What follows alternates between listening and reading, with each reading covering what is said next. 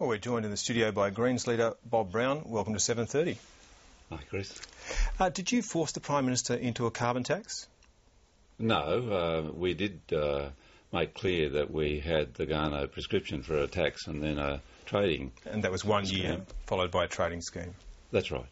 Uh, well, no, it wasn't one year, it was a period. Uh, but we went, went to the election with that prescription. We then uh, made an agreement with the Prime Minister to set up a committee to look at that and be informed by experts. And out of that committee has come the prescription that we now, or the framework that we now know about. Sure, but she says that she had her heart set on a carbon market and now she's been forced into a carbon tax. And if you didn't force her and the independents didn't force her and she wants one, why don't we have one? Well, she's she's getting a carbon market. There's a tax on the way to the carbon market. Three It's to five years. that. That's right. But then there's a review after that. So there might not ever be a carbon market. Well, uh, the intention is everybody's agreed that a carbon market is where we're aiming. We have always said that ourselves. Christine Milne's been very strong on that.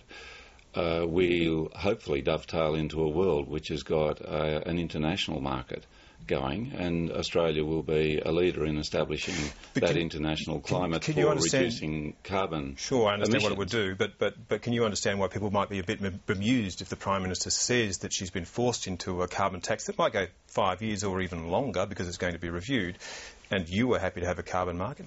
The independents were happy to have a carbon market, and she was too. So, who forced her into having a tax up front? Well, I don't know. You'll have to ask her about that, Chris. I The think you fact have, probably. Yeah, but is this the issue?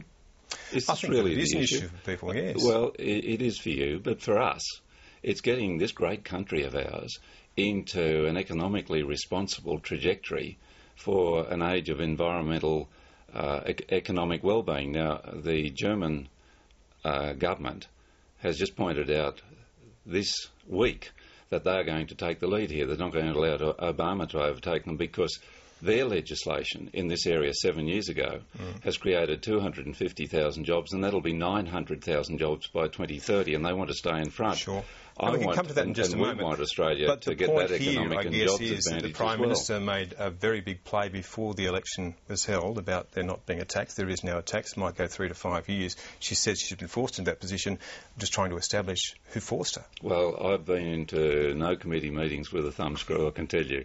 Nor so it wasn't she. you. It was a short story. Uh, absolutely. We've had a, a mature discussion about how to to move Australia to a carbon price.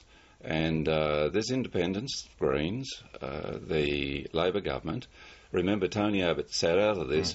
Tony Abbott's prescription is to give the polluters the money off the taxpayers.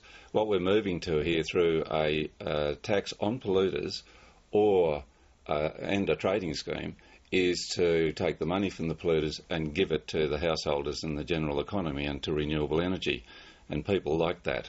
And that's where I think the problem is for Tony Abbott. He's, he's backing the wrong horse. He's saying, take the money off the people, give it to the polluters. We're saying, take it off the polluters and make sure you look after the people. But you'll take the money off the polluters, which are also big employers, by the way, and they will take it off the people. Isn't that the case? Well, uh, really? Uh, in Germany, Won't where they pass the price Well, on? in Germany, where they've done this, uh, I just uh, reiterate: 250,000 jobs created. Are we going to look after the 68,000 jobs on the Great Barrier Reef? That's twice as many in, as in the whole of the coal industry.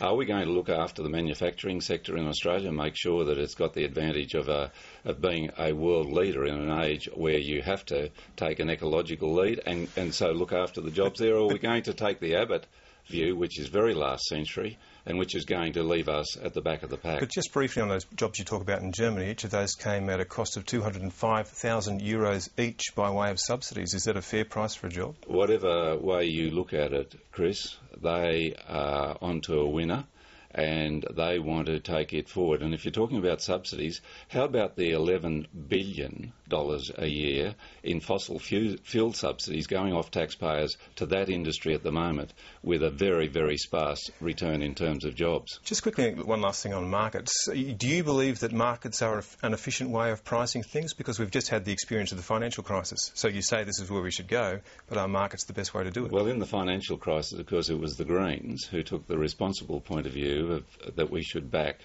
the, uh, the government stimulus package, and that saved 600,000 jobs and, and a lot of small businesses with it.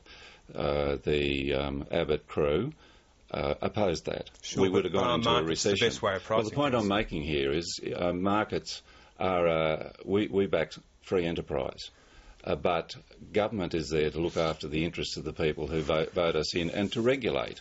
Uh, and we've done that very successfully, and the Greens have shown a great deal more responsibility there than the Abbott coalition. Sure. Now, you've handed me some figures, you've done some polling. You think that this, the move that you're making on carbon pricing, is